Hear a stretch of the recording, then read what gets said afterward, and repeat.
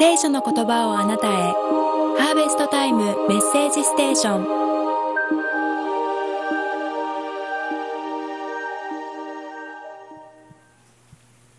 はいじゃあ皆さん、えー、使徒信条のメッセージ第5回目を今から始めましょう。総合タイトルは「キリストの人たちが伝えたこと」その第5回目「使徒信条とは」今までイントロダクション2回父なる神が2回です。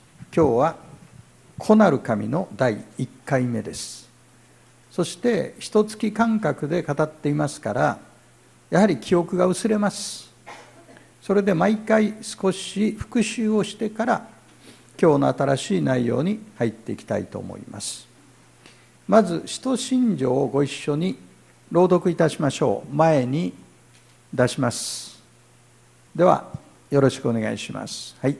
我は天地の作り主全能の父なる神を信ず我はその一人子我らの主イエス・キリストを信ず主は精霊によりて宿り処女マリアより生まれポンテオ・ピラトのもとに苦しみを受け十字架につけられ死にて葬られ黄泉に下り3日目に詩人のうちよりよみがえり天に昇り全能の父なる神の右に座したまえり。賢より来たりて生ける者と死にたる者と裁きたまわ。我は精霊を信ず聖なる行動の境界生徒の交わり罪の許し体のよみがえり永遠の命を信ず。アーメン。これが使徒信条の内容であります。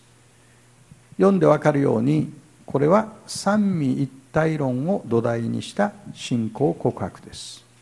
時々イスラム教も同じ神だというふうにコメントする批評家がおりますが全くの間違いです。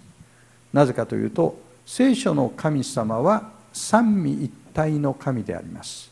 イスラムの神はそうではありません。アッラーと言いますが神っていうのをね。そうではありません。時々私はクリスチャンだけどもイエス・キリストが歴史的人物だというのは信じてるけど神であるかどうかはクエスチョンマークだとか私はイエス・キリストが十字架で死んだことは信じているけれども3日目によみがえったのはまだクエスチョンマークだとかいう方がいますが厳密な意味ではそういう方はまだクリスチャンにはなっていません。なぜかというと父子精霊という三位一体の神こそ聖書の神であり私たちがその神に信頼を置いているかどうかが救われているかどうかのポイントになるからです。ですから使徒信条が三位一体論をベースに告白をしているということ。そして父なる神は分かるけどもイエスが子なる神であることはまだわからないという方はなぜわからないかというと聖書の神が三位一体の神でありその方を信じることが救いなんだというポイントがまだ曖昧なわけですね。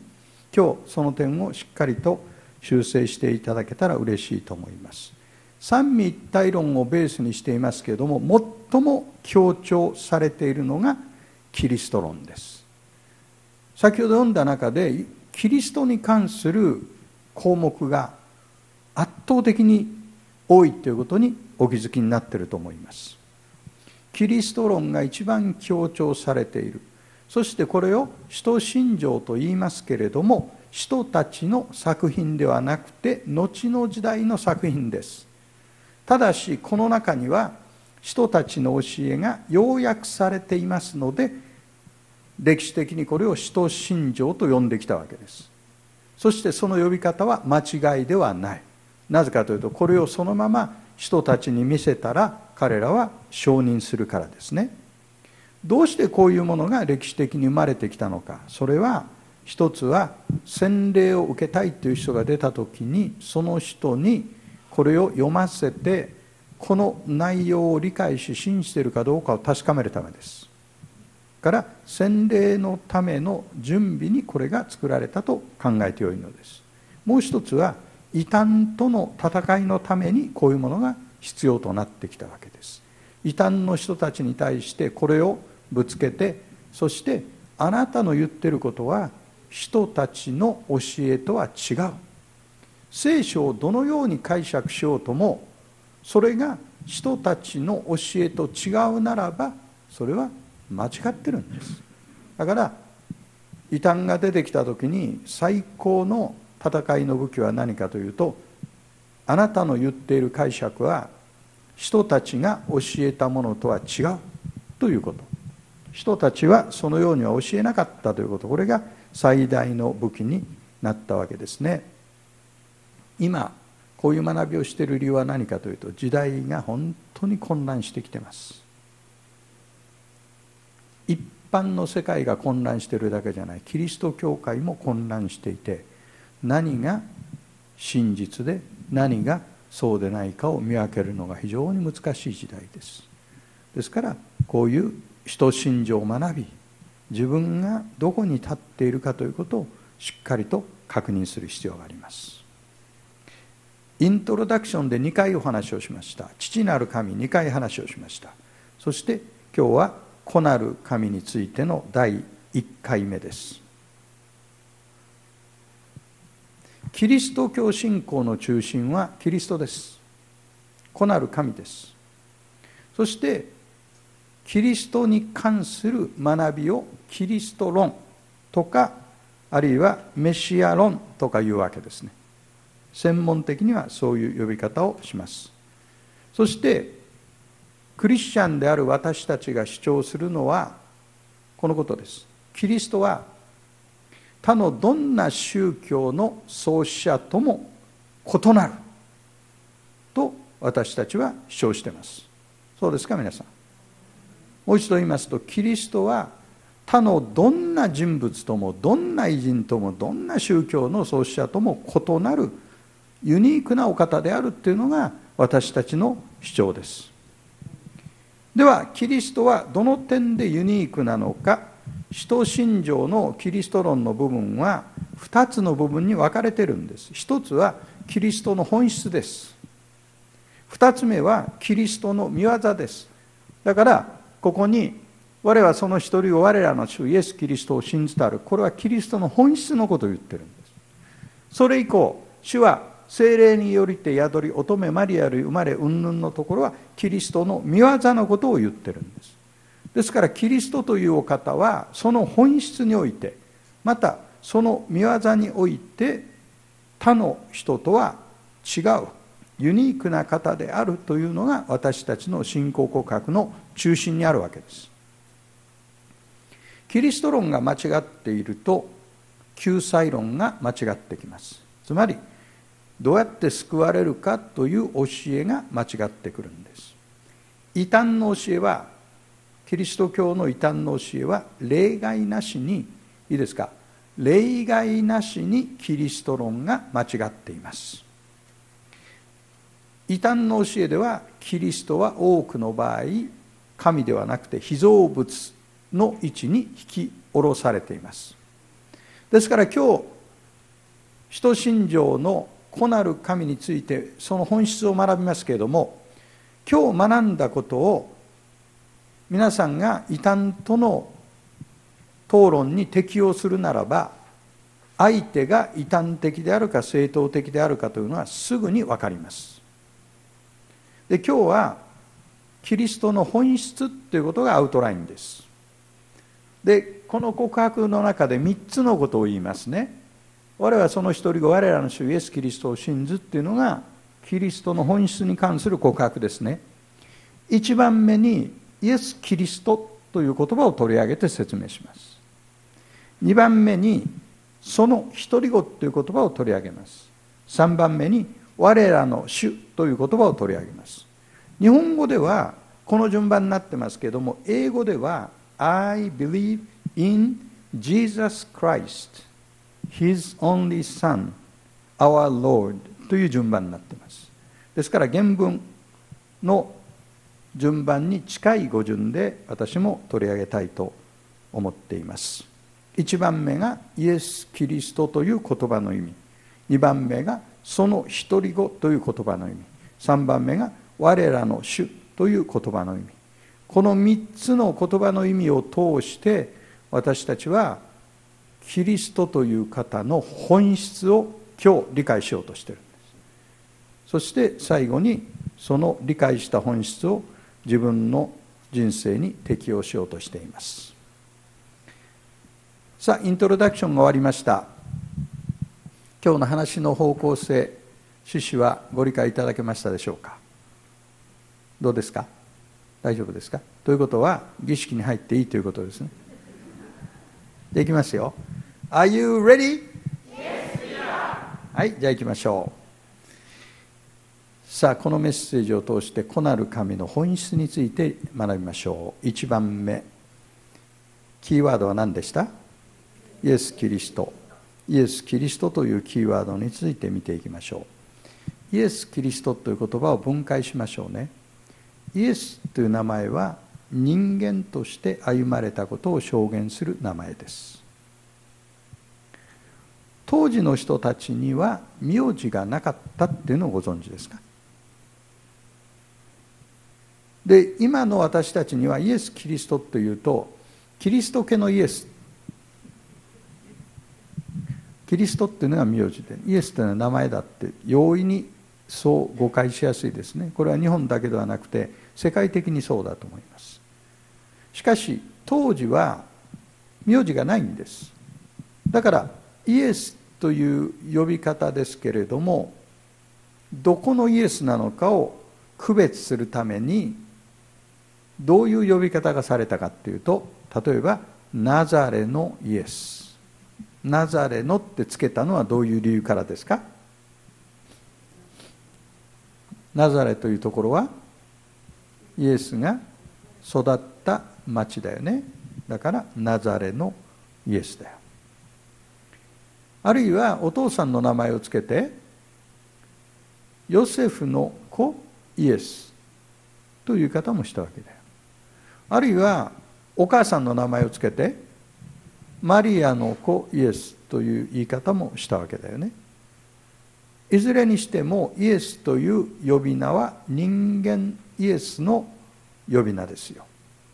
でイエスという言葉はヘブル語ではヨシュアっていう言葉と同じですね。マタイの福音書の1章の20節から21節を見てみましょう。ご一緒にはい。彼がこのことを思い巡らしていた時主の使いが夢に現れていった。ダビデの子ヨセフ。恐れないであなたの妻マリアを迎えなさい。その体に宿っているものは精霊によるのです。マリアは男の子を産みます。その名をイエスとつけなさい。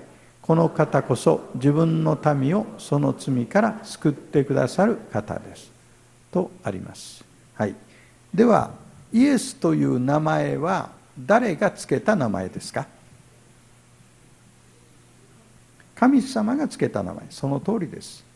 これはヨセフやマリアが生まれる前から神様がイエスという名前にしなさいと言われたわけですがその理由はイエスという名前は主は救いという意味があるからです。主は救いという意味ですね。旧約聖書のヨシュア記に出てくるヨシュア。と同じ名前です。ギリシャ語ではイエシュアと言います。イエシュアと言います。ヨシュアという名前は当時ユダヤ人の間では非常に一般的な名前です。太郎とか一郎とかいうぐらいに一般的です。あるいは健一と言ってもいいわけですけども。とてもポピュラーな名前です。で旧約聖書のヨシュアはイエスの型です。ヨシュアを見ていると将来登場する救い主がどういう技を行われるかということがある程度予想できるという意味で「型」という言葉を使うわけです。ヨシュアは覚えてますか？イスラエルの民がエジプトから出てヨルダン川を渡って約束の地に入る時にモーセはもう死んだでしょう。次にヨシュアが彼らを導いて約束の地に行きました。それと同じように新約聖書のヨシュアイエシュアであるイエスは私たちを罪の束縛から解放して自由の国へと導いてくださる。そういう意味で神様が生まれる男の子をイエスとつけなさいと言ったわけですね。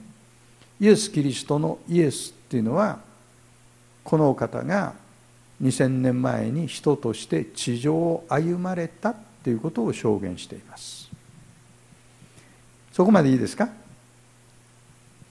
じゃあイエスが終わりましたからじゃあ次は何が来ると思います？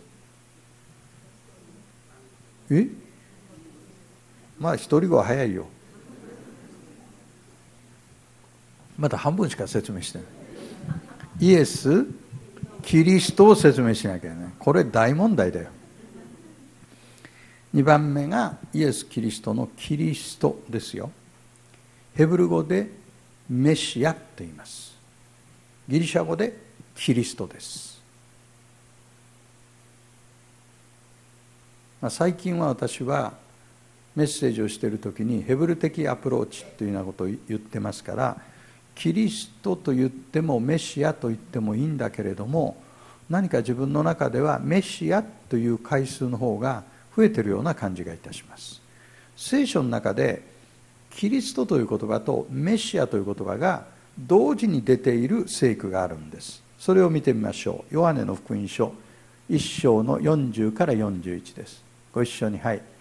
ヨハネから聞いてイエスについていった2人のうちの1人はシモン・ペテロの兄弟アンデレであった。彼はまず自分の兄弟シモンを見つけて私たちはメシア訳して言えばキリストにあったと言った。ほらこれね。私たちはメシアにあった訳して言えばキリストって丁寧に説明してくれてます。ですから旧約聖書のヘブル語のメシアはギリシャ語でキリストなんです。あるいはペテロがこういう告白をしています。マタイの福音書16章15から16はい。イエスは彼らに言われたあなた方は私を誰だと言います。シモン・ペテロが答えていった。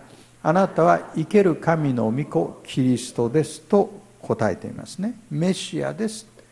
と彼は言ったんでしょう。それをギリシャ語に訳すとキリストですという言葉になるわけですね。メシアあるいはキリストっていうのはタイトルです。称号です。名字ではありません。ですからイエス・キリストっていう言葉はメシアとして来られたイエスというお方という意味です。アンデレとペテロはイエスというこの方こそユダヤ人たちが長い間待ち望んでいたメシアであると告白してるんです。じゃあメシアあるいはキリストのキリストという言葉の意味を考えてみましょうね。メシアっていうのは油注がれた方という意味です。油注がれた方。旧約聖書では油注がれるっていうのは特別な任務のために神様から選び分けられてそしてその任務を行うために必要な力を与えられたということを象徴しているんです。もう一度言いますと油注ぎを受けたっていうのは特別な任務のために神から選ばれてその任務を行うのに必要な権威と力を受けた。ということを象徴しています。第一サムエル24章の5節から6節を見てみましょう。ではご一緒に。こうして後ダビデはサウルの上着の裾を切り取ったことについて心を痛めた。彼は部下に言った。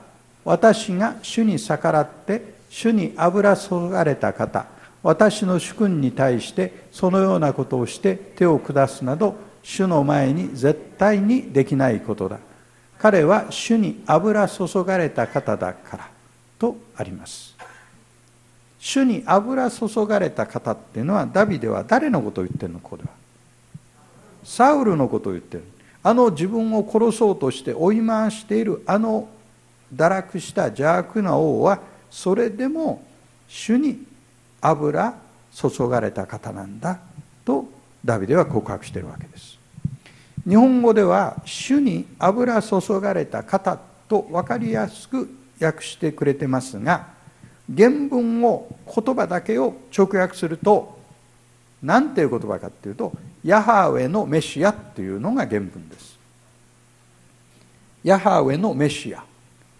だから油注がれたっていう言葉自体がもうメシアなんです。だからサウルはヤハウェのメシアなんです。でこの時にはメシアっていう言葉が救世主救い主を指すという意味まではまだ拡大してないわけですね。この段階では神によって権威を与えられ特定の任務に召されたものを指しているわけです。ところが時とともにそのメシアという言葉油注がれたものという言葉がダビデの子孫として誕生する解放者を意味するようになってくる。つまり人類を救うために神から選び分けられ特定の権威を受けた。この場合は特に精霊によって油注ぎを受けるというお方をメシアと呼ぶようになったんです。ユダヤ人の心の中にはやがていつかそのメシアなるお方が来られて我らを救ってくださるという希望が芽生えてきます。特にイエス時代のパレスチナっていうのはどこの国が支配してましたか？ローマ。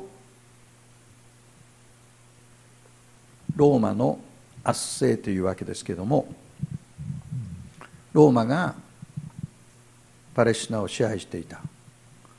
その支配下にあってユダヤ人の間にやがてメシアが来られるというこれはメシア待望ですね。メシア待望の機運が非常に高まっていくわけですね。やはりね時代の風っていうのがあるんです。時代の空気っていうのがあるんです。今日本の時代の空気はどういうものですかね。ある人は日本はもうダメだ諦めてる。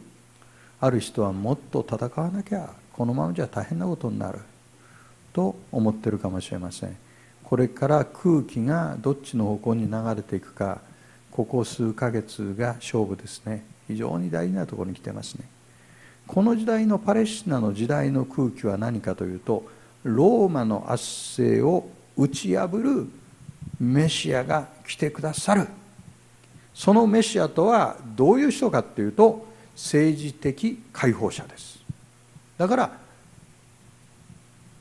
ユダの荒野でバプテスマのヨハネが声を上げた時に人々が一挙に出ていくんです。なぜあんな偏僻なところで声を上げるのか。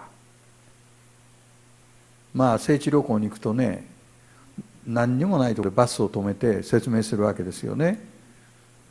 なんでこんなところでと思うんだ。それは予言の成就ですよ。荒野で叫ぶ者の声がする。それはこれからメシアが来られる道をまっすぐにせよというその人が現れたっていうんで一挙にみんな行くわけですよ。あるいは今の日本で言えばなんだ大阪辺りだと丹波篠山で声を上げたようなもんだ。今は丹波篠山笑えないよ。非常に開けてるからね。で僕の子供の頃はね丹波篠山っていうと猿とイノシシぐらいしか出ないっていう漫才でよく出てきたんだよあれがね。梅田で広告宣伝活動するんじゃなくて丹波篠山でやってどうすんのよ。猿と命しか見に来ないでしょ。ところがそういう場所でバプテスマのヨハネが活動を開始した時に人々は出ていったわけよ。なぜかというとメシアが間もなく来られるという。その時代の空気に合致する人物が現れて人々が期待して出ていったわけだよ。その政治的解放者政治的指導者のことをユダヤ人たちはダビデの子って呼んだんだよ。ダビデの子っていうのもこれはタイトルです。ダビデっていうのが昔イスラエルの黄金時代を築いた王です。ですからその子孫として来られるお方はダビデ時代のような素晴らしい王国を作り上げてくださるという意味でダビデの子というタイトルを人々は好んだんです。だからイエス様に呼びかける時にダビデの子イエスよという呼びかけをして癒してくださいと叫ぶことが福音書の中にも何度か出てくるわけです。しかしユダヤ人の期待とは全く違って福音書のどこを読んでもイエスは一度もローマに対して武力的抵抗を行えという勧めを語ってないんです。一回も語ってない。これっぽっちも言ってないんです。むしろイエスの矛先はどこに向けられたかというとイスラエルの中の腐敗分子に向けられていました。イスラエルの指導者たちの堕落した姿誤った教えにイエスの矛先が向けられたんです。イエスは自分ではダビデの子というタイトルを使うことは好みません。一度も使ってない。なぜかというとイエスはこれからまず十字架への道を歩もうとしておられる。これがメシアとしての使命だったんです。しかし当時のユダヤ人たちにはメシアが十字架につけられることは信じられないことなんです。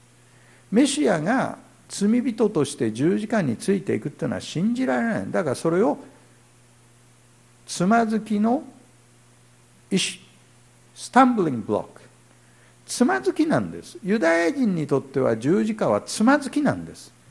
こんなものはなぜ信じられるか。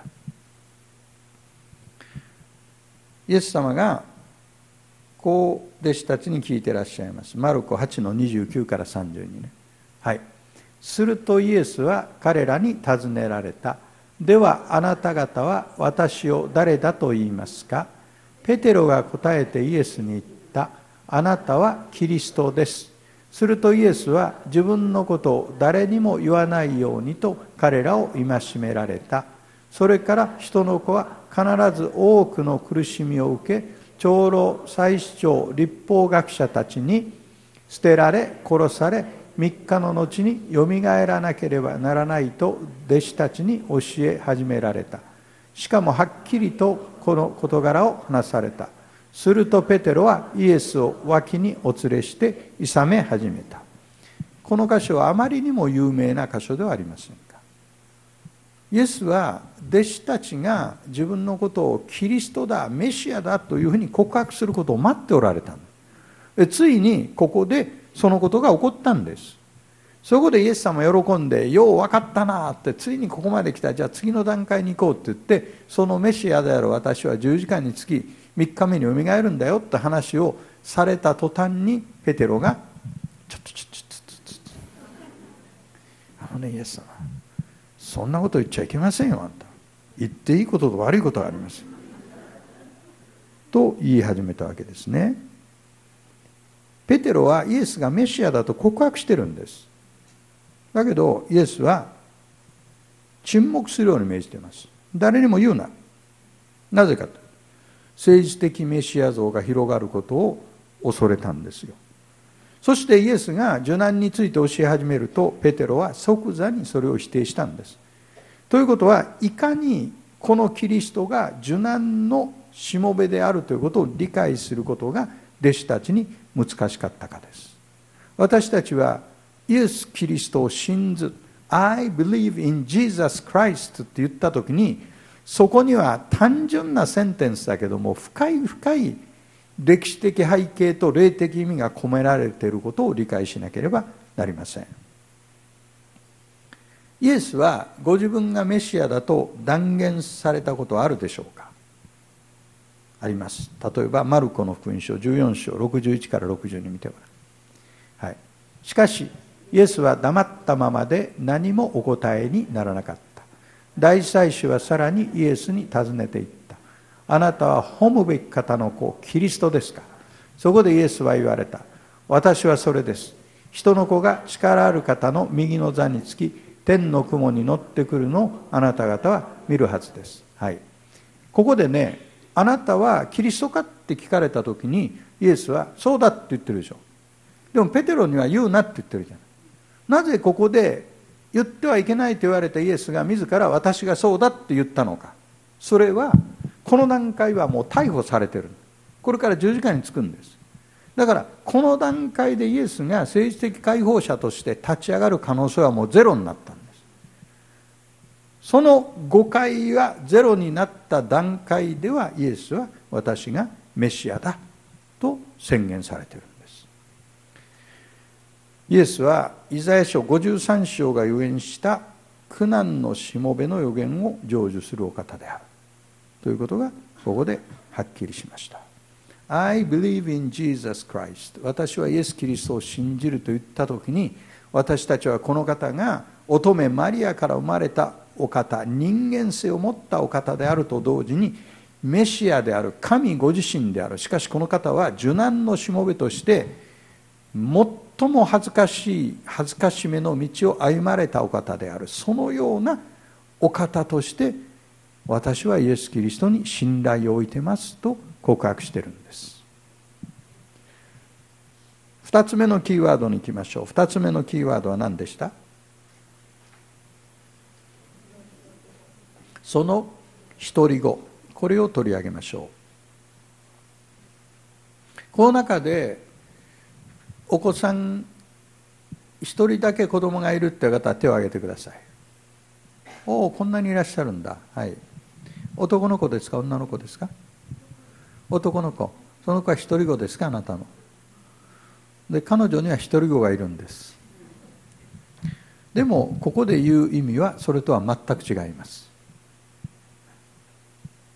一人子まずね神の子っていう言葉を考えてみよう。神の子っていう言葉。旧約聖書と新約聖書で神の子っていう言葉の使い方が違うんです。旧約聖書では神の子っていうと天使。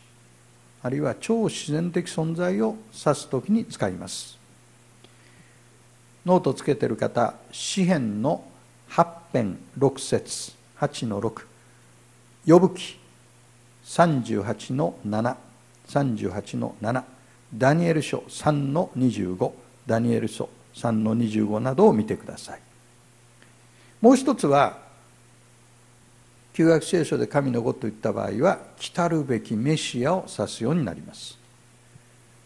聖句は第2サムエル7の12から14第2サムエル7の12から14詩篇の第2編7節2の7そして詩篇の86編26から2786の26から27来るべきメシアを指します。これが旧約聖書の使い方です。新約聖書に入ると神の子っていう言葉の使い方が変わってきます。ある意味では全ての人は神の子です。あなたも神の子です。イスラエルに行って例えば道で出会ったユダヤ人と話し始めて私がイエス・キリストは神の子です。だから信じなさいと言いたいと思って Jesus Christ is the Son of God 言ったとします。どういう反応が返っている？信じますか？って。Yes, I believe って言います。あこの人はじゃあメシアニックジューかと思うんだけど次に出てくる So am I 私もそうだよって言うんです。つまりそういう場合の神の子っていうのは全部神によって作られたという意味で全部神の子だって言ってるんです。注意しないとねこういう考え方に僕ら押し流されてしまうね。We are the world ね。世界は一つだ。みんな神の子だ。世界に平和があるようにわーっていう雰囲気でこれいいなと思ってると全部神の子です。だからそういう使い方をすることもあるわけですよ。しかしイエスが神の子っていう場合はこれは特別な意味で神の子です。まあ、英語で言うと分かりやすいね。定冠詞が The っていう言葉です The Son of God The Son of God 定冠詞がつくそしてクリスチャンは神の子たちですが私たちはどういう意味で神の子となっているかというと養子なんです。アダプションです。養子という関係において私たちは神の子たちになったんです。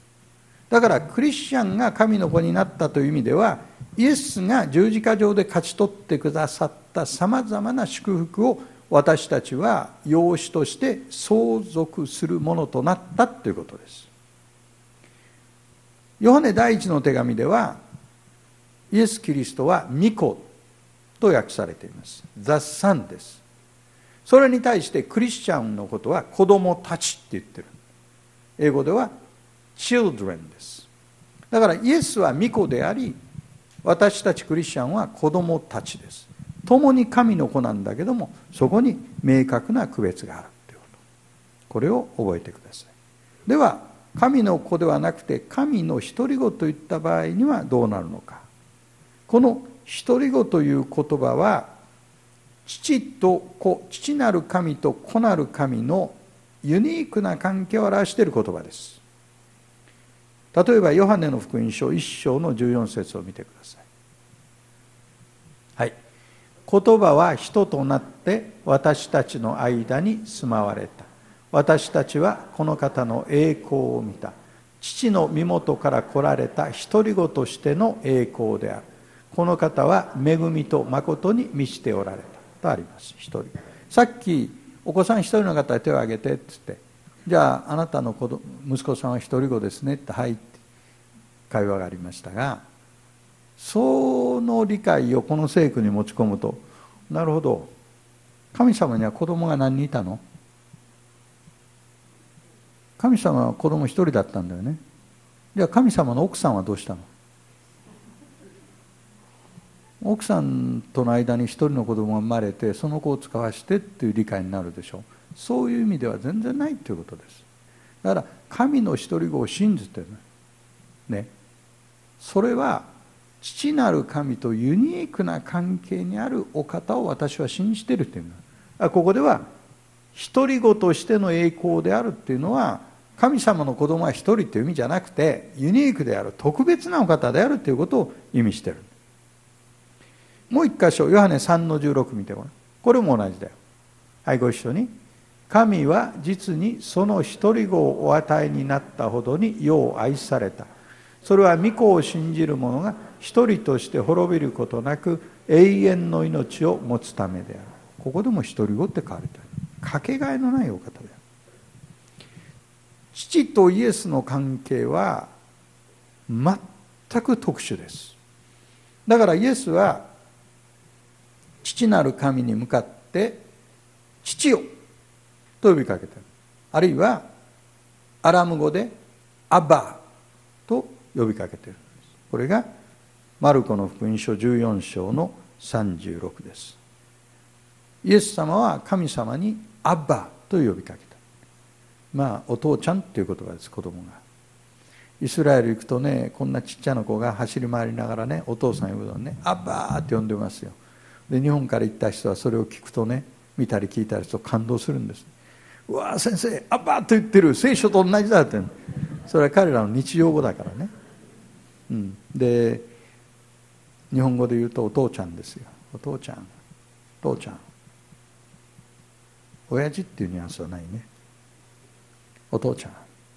イエス様だけが直接的にアッバと呼びかける。そして父と子は目的と意思において完全に一致してます。この最初の1の15を見てください。ご一緒に。御子は見えない神の形であり作られたすべてのものより先に生まれた方です。とあります。これが神の独り子の本質です。はい。異端的解釈は作られたすべてのものより先に生まれた方です。だからキリストは被造物だって言うんです。でこれを証明するためにある団体の役は作られた他のすべてのものよりって他のっていう言葉まで入れちゃうんです。ねもともとない言葉を入れてイエスが被造物だということを証明しようとしてるんですね。この聖句はそんなことを言ってない。ここで言ってることはイエスは被造物が存在する前からおられたということ。ですつまりイエスは創造主でありイエスは権威をお持ちのお方であるということを言ってるんです。神の一人子。その一人子という言葉は何かというとイエスが神であり父なる神と全くユニークな関係に置かれているお方であるという告白を私たちはしてるんですね。じゃあ3番目の言葉に行きましょう。3つ目の言葉は何でした？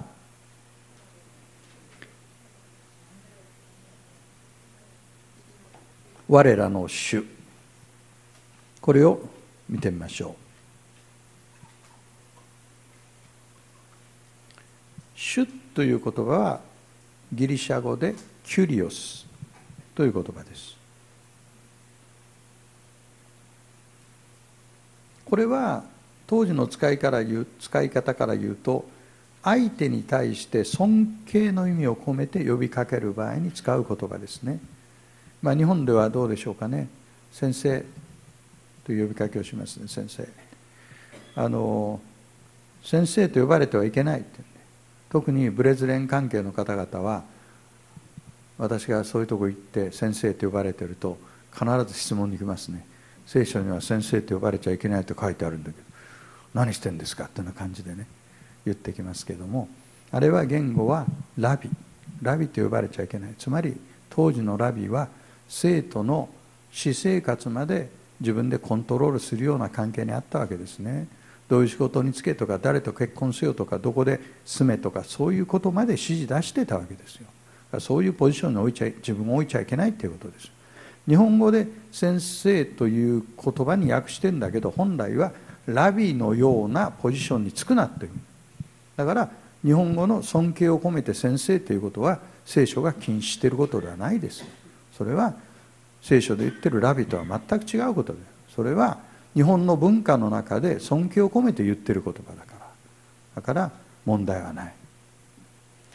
あの深い背景を理解してねその真意を理解しないと。表面的に言葉遣いがどうのこうので論争していることはあまり益にならないね。でキュリオスという言葉主よという言葉も例えばマルタがイエス様に対して主よと呼びかけるキュリオス。これは先生って言ってるぐらいの意味だよ。尊敬を込めて言ってるんだよね。と同時にイエスを救い主として告白する際にもこの言葉を使うようになるわけ。だからこの言葉には軽い使い方と重い使い方があるっていうこと。旧約聖書で神様の皆を指す代表的な固有名詞はヤハウェという固有名詞です。それと新約聖書のキュリオスの関係をここで考える必要がある。出エジプト記3章14から15を見てみましょう。はいご一緒に。神はモーセに仰せられた。私は私はあるというものである。また仰せられた。あなたはイスラエル人にこう告げなければならない。私はあるという方が私をあなた方のところに使わされたと。神はさらにモーセに仰せられた。イスラエル人に言えあなた方の父祖の神アブラハムの神イサクの神ヤコブの神主が私をあなた方のところに使わされたと言えこれが永遠に私の名これが世々にわたって私の呼び名である。はい。私の呼び名っていうのは主なんです。これ日本語に訳しちゃったからおかしげなことになってる。もともとはヤハウェです。4文字です。ヘブル語の4文字です。でも新海訳や他の日本語聖書はシュッと訳しちゃったんです。でこれがヤハウェという言葉だよということを示すために新海訳は括弧でゴチック体のような表記をしてくれてるんですだからこの表記が出てきたらこれはヤハウェだよという印でまあ学者の翻訳としては誠実ですね。これが来たらヤハウェだよ。ただ疑問はこれねヤハウェという言葉どう発音していいか分かんないからこういうふうにしてるんだけどもユダヤ人たちはヤハウェっていう発音しないからね。アドナイっていう我が主よという読み方に変えちゃってる。そこからジェホーバエホバっていう間違った発音につながっていくわけですよ。エホバの証人の方々が主の皆はエホバである。言ってるのはあれ誤解した読み方ですからね。もともとそういう発音はないんですね。だからもともとの発音は最も近いのはヤハウェでしょうね。だからヤハウェっていうのは固有名詞だから私はヤハウェっていうままで表記した方が良かったんじゃないかなというふうに考えています。神はご自分の皆をヘブル語の4文字で掲示されたんです。これはねいわば頭文字を4つ取ったようなもんなんですね。私はありてあるというものであるという私はありてあるというのを頭文字を取るとヤハウェになる。で英語表記すると YHWH です。YHWH です。私はあるという意味です。4つ文字があるからテトラグラマトンという言い方をするんです。テトラっていうのはテトラパックとあるでしょ。4です。テトラグラマトンというのは文字ってだからテトラグラマトンという言葉をエホバの証人の人たちは大好きですねこれを使うのが。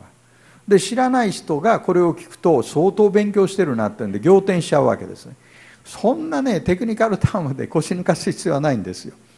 4文字だって言ってるだけのことですね。ヤハウェっていうのは4文字で表現している神の皆で意味は私はあるという意味でこの皆を使う場合は神様はご自分がイスラエルと契約を結んだ神だという意味でこの名前を使ってるんです。そこまで OK? ヤハウェという名前がだから出てくるとこれは契約の神の皆なんです。でその旧約聖書のヤハウェを新約聖書ではキュリオスと訳すんです。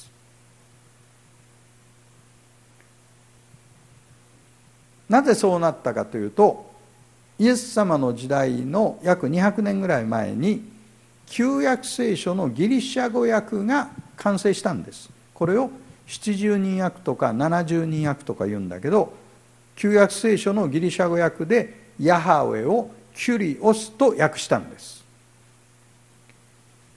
ユダヤ人たちはだからイエス時代のユダヤ人たちはこのキュリオスという言葉はヤハウェとイコールだと考えている。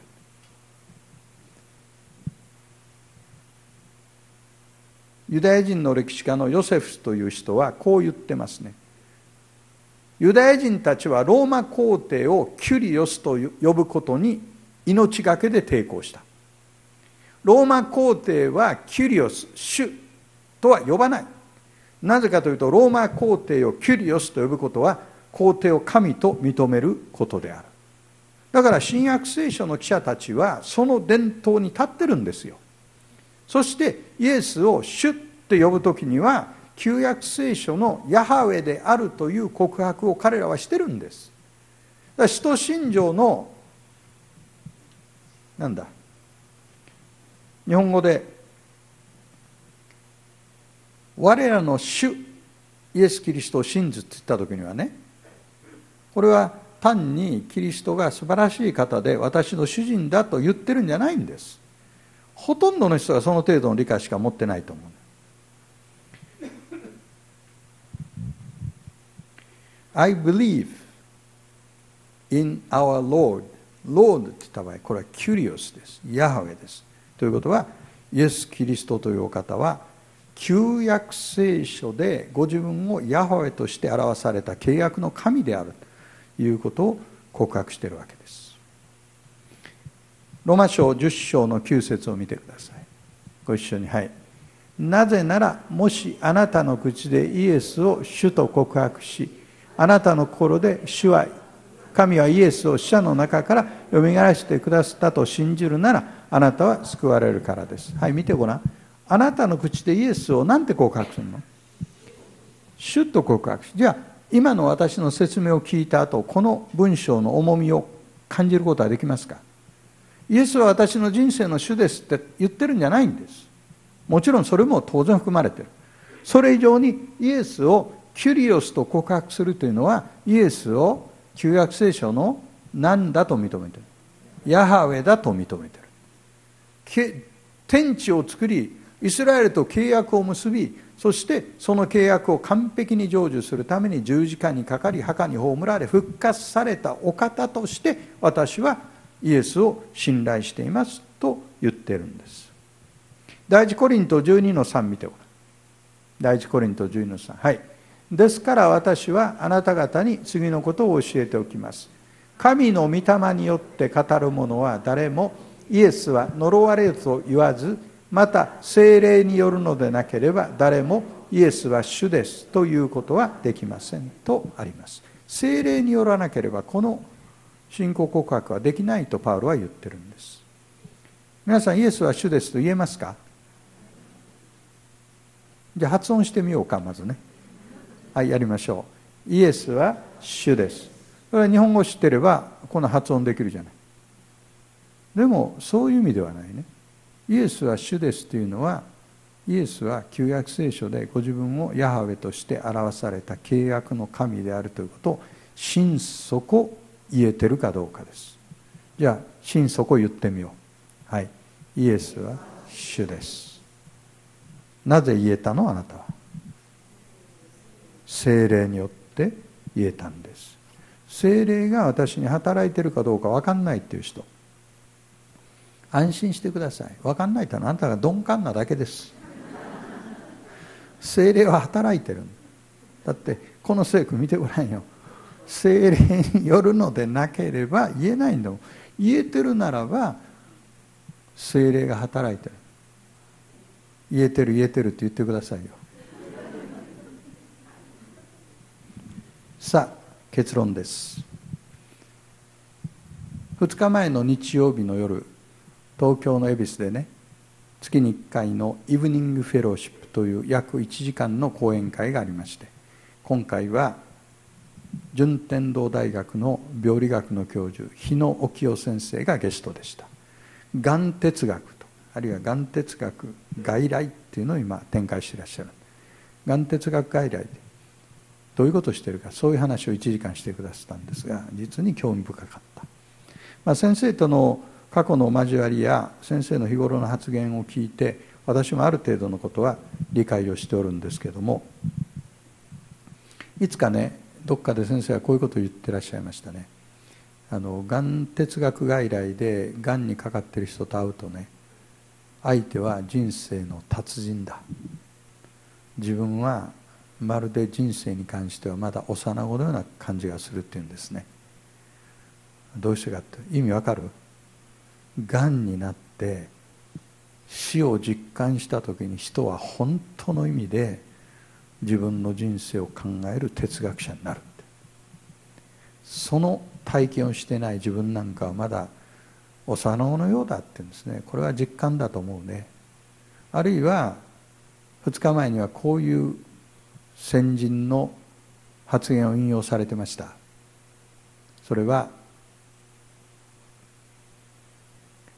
どんなに知的な人やあるいはコンピューター時代に生きていて問題も何もないような神のことや死のことや全くそんなことに興味のないような人が一旦あなたはがんですという宣言を受けた途端に原初的な人間に逆戻りする。わかる？いう意味。つまりあなたはがんですと言われた時に初めて自分が生きること死ぬことの意味を人は考えるようになるっていうんです。本当にその通りだなと思います。人はいつか死ぬ。またこうこうもおっしゃってました。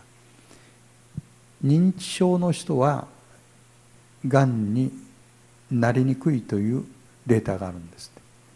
逆にがんの人は認知症になりにくい。そこで質問するそうあなたは認知症がいいですか？がんがいいですか？要するに人生っていうのはそういうもんなんだよ。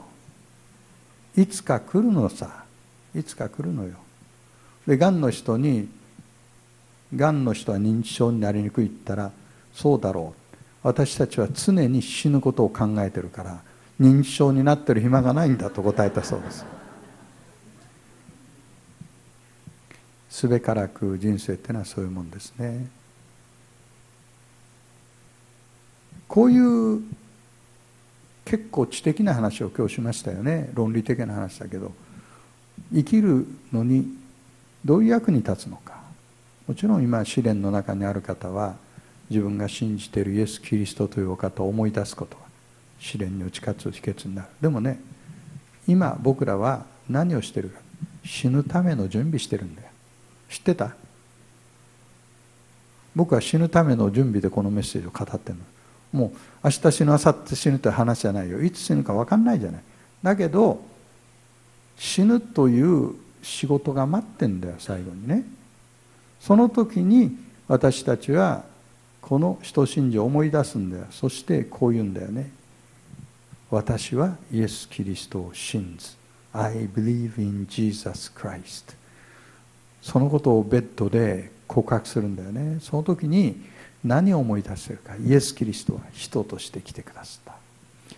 イエス・キリストは旧約聖書が予言した救い主でありメシアであり受難のしもべであり十字架につき3日目に復活して今も生きておられる方だということを告白してるんだよ。この短いセンテンスで。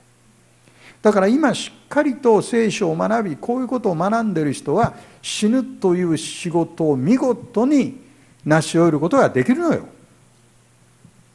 だからイエス・キリストを信ずというこの言葉の重みを感じていただきたい。さらに私たちは私はその独り子を信ずと告白するんです。独り子という言葉の中に何があるのか。イエスは神であり父なる神と特別な関係を持った子なる神である。私たちはそのイエス・キリストを信じる信仰によって神のことをされたつまり養子関係が成立したということです。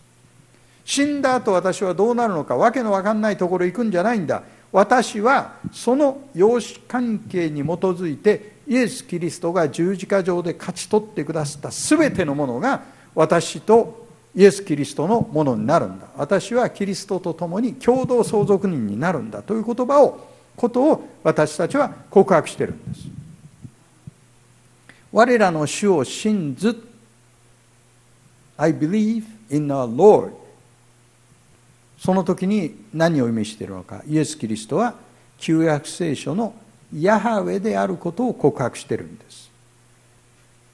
イエス・キリストはイスラエルの民と契約を結ばれた神であることを告白しているんです。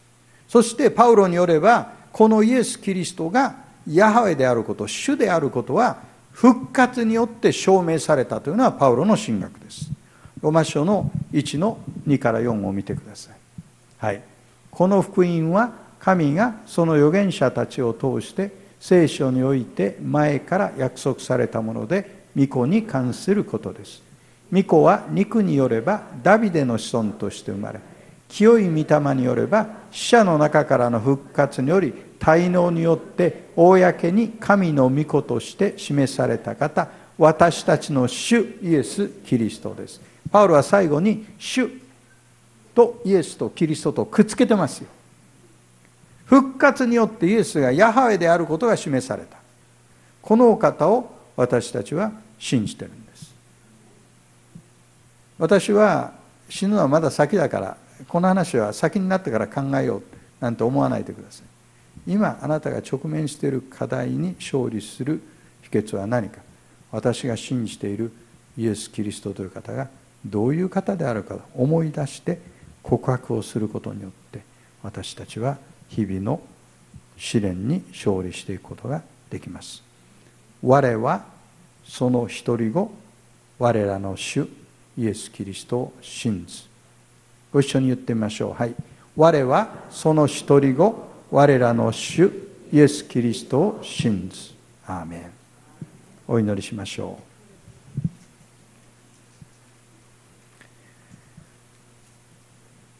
天の父なる神様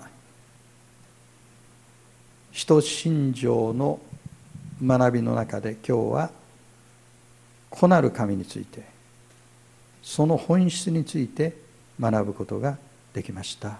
ありがとうございます。今学んでいることが霊的蓄積となりあらゆる試練や死に打ち勝つ原動力となることを私たちは知っております。ありがとうございます。もう一度私が信じているイエス・キリストというお方がどういうお方であること反数しながらキリストを通して私たちが神の養子となっていること喜び感謝することができますように。導いてください。この喜びをお互い確認し合うことができますように。特に教会の交わりの中で力をなくしている方がっかりしている方に私が慰めをお届けすることができますように。またまだイエス・キリストを救い主と信じていない方々には喜びの福音を伝えることができますように。このクリスマスの時期を大いに祝福し我らを用いてください。感謝して主の皆によって祈ります。アーメン。ご一緒に祈りましょう。